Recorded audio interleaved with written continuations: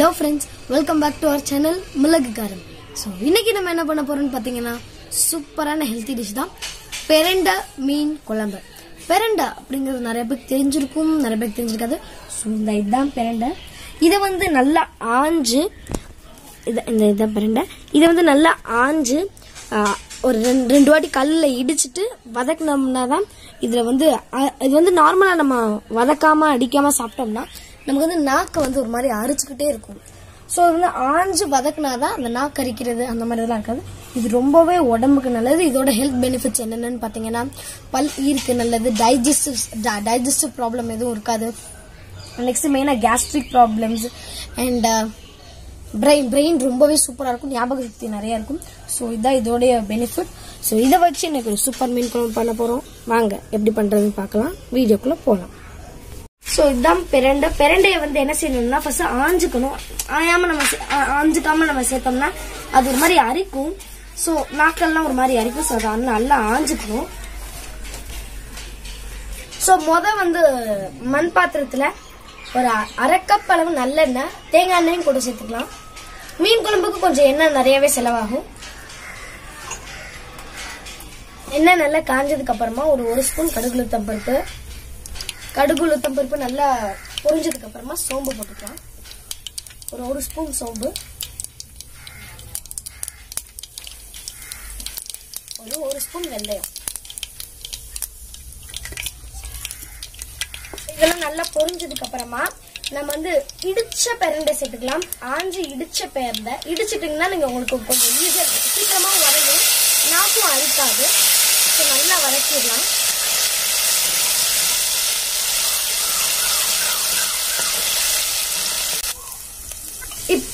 பிரண்டு நல்லாவே வதங்கிருச்சு. இதுல வந்து சின்ன வெங்காயம். ஒரு இருபது சின்ன வெங்காயம் சேர்த்துக்கலாம். ரெண்டு மூணு நறுக்கி ரெண்டு மூணு முழுசாவே போட்டுக்கலாம். ஸோ சின்ன வெங்காயம் நல்லா வதங்கணும். மூணு பல் இடிச்ச பல் பூண்டு. நல்லா வதங்கட்டும். ரெண்டு இனுக்கு கருவேப்பிலை. கருவேப்பிலை போட்டதுக்கு அப்புறமா பச்சை மிளகா இப்போ ஒரு நாலு பச்சை மிளகாவை இடிச்சு சேர்த்துக்கலாம் கட் பண்ணி சேர்த்துக்கலாம் நான் இடிச்சு சேர்த்துக்கேன் இப்போ தக்காளி ஒரு ஒரு பெரிய தக்காளி இதெல்லாம் நல்லா வதங்கணும் நல்லா மேஷா இருக்கணும் ஒரு ஹாஃப் டீஸ்பூன் மஞ்சள் தூள் தேவை காரத்துக்கு ஏற்ப மிளகாத்தூள். நான் ஒரு ரெண்டு ஸ்பூன் சேர்த்துக்கிறேன். ஒரு நாலு ஸ்பூன் மல்லித்தூள்.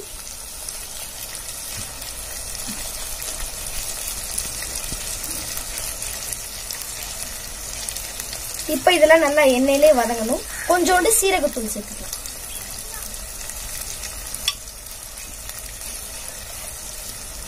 ஒரு அரை ஸ்பூன் சீரகத்தூள். அதெல்லாம் நல்லா எண்ணெயிலே வதக்கிடலாம். ஒரு எலுமிச்சம்பள சைஸ் புளிய வந்து ஒரு கப் தண்ணியில கரைச்சிருக்கேன். அதை இப்ப சேர்த்துக்கலாம். சேர்த்ததுக்கு அப்புறமா நல்லா மிக்ஸ் பண்ணிக்கலாம். தேவையான அளவு தண்ணி மற்றும் உப்பு தேவையான அளவு உப்பு. மீன் குழம்பு நான் தண்ணியா வச்சோம்னா கொஞ்சம் நல்லா இருக்கும். கெட்டியா வைக்கிறத விட தண்ணியா வச்சோம்னா ரொம்பவே சூப்பரா இருக்கும். இப்போ தேவையான அளவு உப்பு.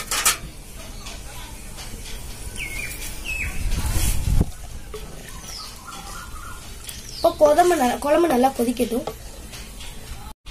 இப்போ வந்து குழம்பு வந்து கொஞ்சம் மேல முறைச்சு வந்திருக்கு.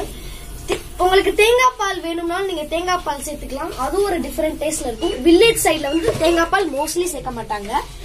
அப்ப லாஸ்டா கொஞ்சோண்டு ஒரு ஸ்பூன் தேங்காய் எண்ணெய் கூட சேர்த்தீங்கன்னா உங்களுக்கு அந்த கேரளா ஸ்டைல்ல கிடைக்கும். சோ அது உங்களோட சாய்ஸ் தான். இப்போ பாத்தீங்கன்னா நல்லா முறைச்சி வந்திருக்கு சைட் ஃபுல்லாக மேல கொஞ்சம் கருவேப்பிலை போட்டுடலாம். கருவேப்பிலை மேல பச்சையா போடுறப்போ கொஞ்சம் ஸ்மெல்லு ரொம்ப தூக்கலா இருக்கும்.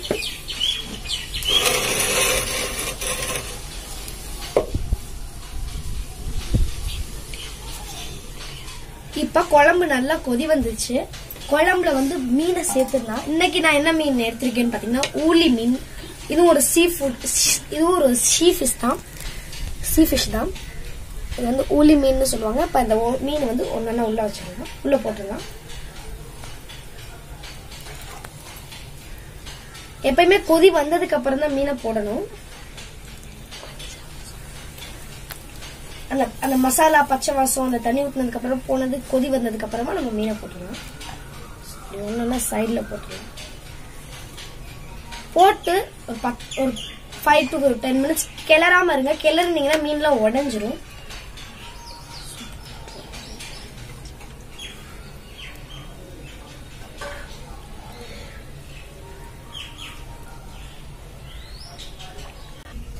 ஸோ அந்த பெரண்டையோட ஹெல்த் பெனிஃபிட்ஸ்லாம் என்னென்னு பார்த்தீங்கன்னா ஹார்ட் ரொம்பவே நல்லது. ப்ளஸ் டைஜஷன் ப்ராப்ளம் எல்லாம் வந்து சால்வ் பண்ணும். நெக்ஸ்ட் வந்து பிரெயின் நர்வ்ஸ்க்கு வந்து ரொம்பவே நல்லது. வீக்லி டுவைஸ் நம்ம எடுத்துக்கலாம். இது வந்து பெரண்டை சட்னி பெரண்டை துவையல் பெரண்டை குழம்பு. ஸோ இந்த மாதிரி வெரைட்டி ஆஃப் ஃபுட்ஸ் வந்து இந்த பெரண்டையிலே இருக்கு. ஸோ சாப்பிட்றதுனால உடம்புக்கு ரொம்ப நல்லது. இது வந்து பல்ல இருக்கிற டீத்ல அந்த ஈர் சொல்லுவாங்க ஈருக்கு வந்து ரொம்ப ரொம்ப நல்லது. ஸோ இதில் மல்டி ஹெல்த் பெனிஃபிட்ஸ் இருக்கு. அதை வச்சு தான் நம்ம வந்து இந்த ஃபிஷ் கிரேவி பண்ணியிருக்கோம். குழம்பு சாரி இப்போ பார்த்தீங்கன்னா குழம்பு நல்லா குதிச்சு மீனும் நல்லா வெந்துருச்சு. இப்போ வந்து நம்ம வந்து குழம்பு எடுத்து வச்சிடலாம். ஸோ இப்போ வந்து மீன் வறுவலுக்கு தேவையான மீன் எடுத்து வச்சிருக்கேன். அதில் வந்து ஒரு ஒரு ஸ்பூன் தனி மிளகாத்தூள். ஒரு ஸ்பூன் மல்லித்தூள்.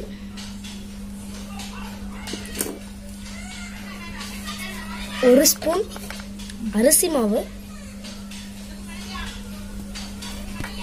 ஒரு அரை ஸ்பூன் சீரகப்பொடி.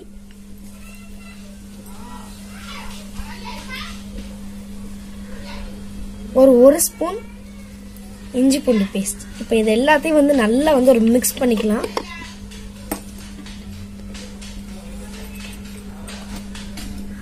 எல்லாத்தையும் வந்து நல்லா ஒரு மிக்ஸ் பண்ணிக்கலாம்.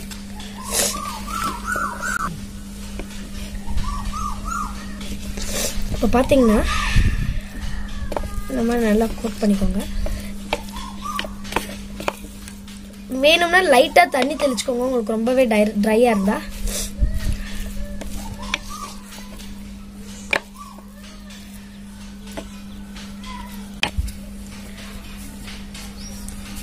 தேவையான அளவு உப்பு.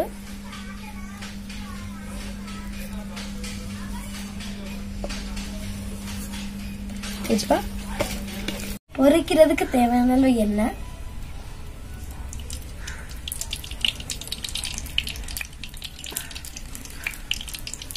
எண்ணெய் நல்லா சூடாகட்டும். எண்ணெய் நல்லா சூடாயிருச்சு. ஃபிஷ் பீஸ் போட்டுடலாம். உங்களுக்கு வேணும்னா நீங்கள் தவால கூட ட்ரை பண்ணிக்கலாம்.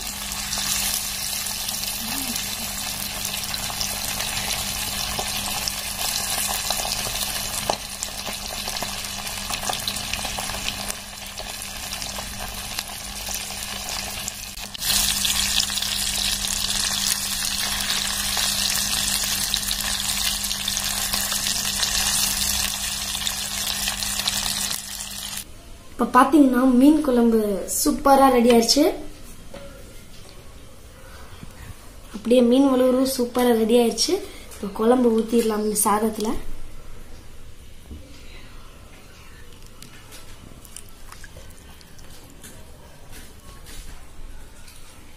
இப்போ பார்த்தீங்கன்னா குழம்பு வந்து சூப்பராக ரெடி ஆயிடுச்சு. மோஸ்ட்லி வந்து வில்லேஜ் சைடில் வந்து குழம்பு வந்து தனியாக தான் வைப்பாங்க. ஸோ நீங்கள் வில்லேஜ் சைட் போய் பார்த்தீங்கனாலே தெரியும் ரொம்பவே தண்ணியாக தான் வைப்பாங்க. நம்ம தான் இங்கே வந்து ரொம்ப கிரேவியாக ரொம்ப ஒரு திக்னஸாக வைக்கிறோம் தண்ணியாக வச்சா அது ஒரு டிஃப்ரெண்ட் டேஸ்ட்ல இருக்கும்.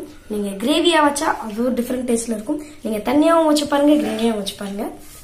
ஸோ இப்போ பார்த்தீங்கன்னா ஹோல் லஞ்ச் மெனு இன்னைக்கு தான். ஸோ இந்த வீடியோ உங்களுக்கு பிடிச்சிருந்துச்சுன்னா லைக் பண்ணுங்க கமெண்ட் பண்ணுங்க ஷேர் பண்ணுங்க. மறக்காம சப்ஸ்கிரைப் பண்ணிருங்க பக்கத்தில் இருக்கிற பெல் ஐக்கானையும் கிளிக் பண்ணிருங்க அடுத்து உங்களுக்கு ஒரு இன்ட்ரெஸ்டிங்கான ரெசிபியோட உங்களை வந்து பார்க்குறேன்.